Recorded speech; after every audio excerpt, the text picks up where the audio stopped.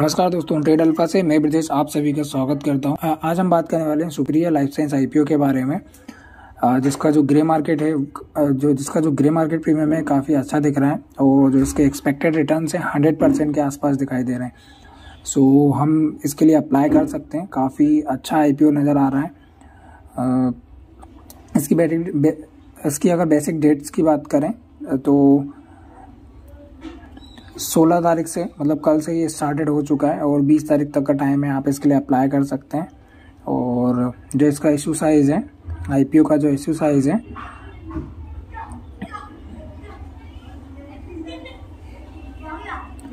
IPO का जो size है 700 करोड़ का है और इसमें जो प्राइस बैंड है, दो सौ पैंसठ से दो सौ पर शेयर है। लिस्टिंग इसकी एन एन बी दोनों में होगी।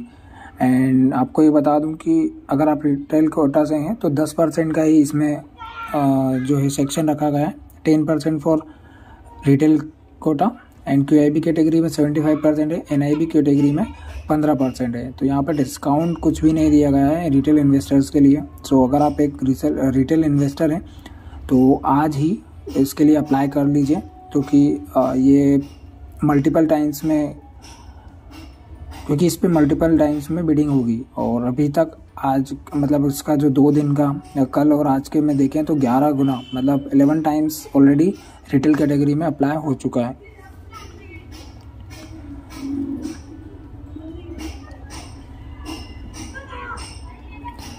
सो so, जो इसका जो लॉट साइज़ अगर देन बात करते हैं इसके लॉट साइज़ की तो लॉट साइज़ इसका ट्वेंटी फोर शेयर्स का है। एंड मिनिमम अमाउंट आपको इसमें इन्वेस्ट करना होगा। Fourteen thousand seven hundred ninety six rupees and maximum आप इसमें थर्टीन लॉट ले सकते हैं, जिसकी वैल्यू होती है one lakh ninety two thousand three hundred forty eight rupees बात करते हैं इसकी लिस्टिंग कब होगी और इसका अलॉटमेंट कब होगा। तो जो प्राइस बैंड अनाउंसमेंट हो चुका था दस दिसंबर को। एंड सो बात करते हैं इसकी लिस्टिंग और अलॉटमेंट डेट कब है। तो आईपीओ का जैसा ओपन मैंने बताया ऑलरेडी हो चुका है 16 दिसंबर को। 20 दिसंबर को इसकी क्लोजिंग रहेगी बिडिंग की। देन 23 दिसंबर को इसका अलॉटमेंट है। एंड अगर आपको ये मिलता है तो आपके अकाउंट में शेयर्स क्रेडिट हो जाएँगे 27 दिसंबर को। और अगर आपको ये अलॉटमेंट नहीं मिलता है तो 24 दिसंबर को आपके अकाउंट में रिफंड कर दिया जाएगा। एंड फाइनली इसकी जो लिस्टिंग है 28 दिसंबर को होगी। तो जी मैंने स्टार्टिंग में जैसे बात करा इसका जो ग्रे मार्केट प्रीमियम है काफ़ी अच्छा दिख रहा है। सो so, करंट में इसका जो ग्रे मार्केट प्रीमियम है टू एट्टी रुपीज़ है जो कि इसके जो प्राइस बैंड है उससे भी ज़्यादा है। प्राइस बैंड इसका जो दो सौ पैंसठ से दो सौ चौहत्तर है। सो so, उसी के उसके हिसाब से अगर देखा जाए तो इसका एक्सपेक्टेड रिटर्न हंड्रेड परसेंट देखा जा रहा है। और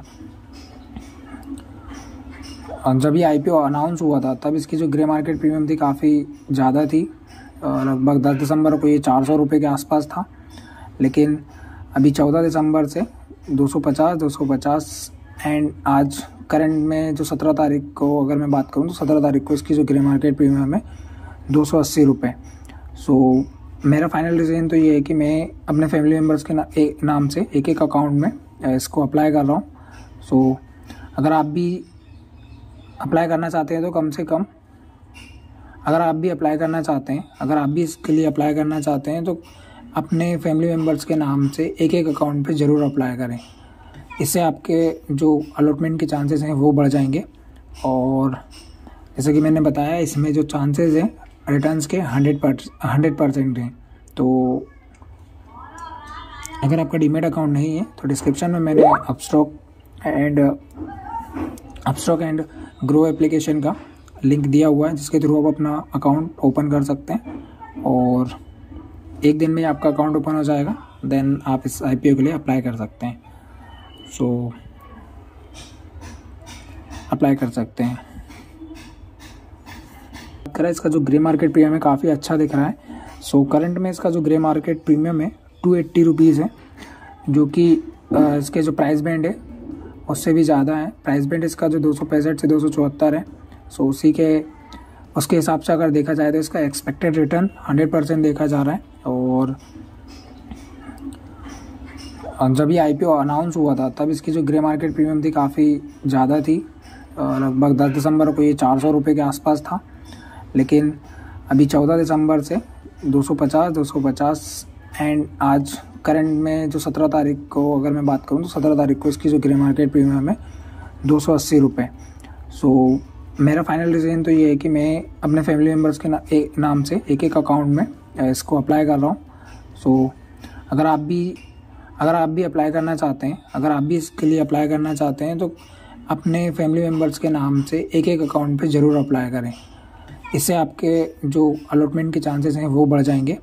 और जैसे कि मैंने बताया इसमें जो चांसेस हैं रिटर्न्स के हंड्रेड हंड्रेड परसेंट हैं।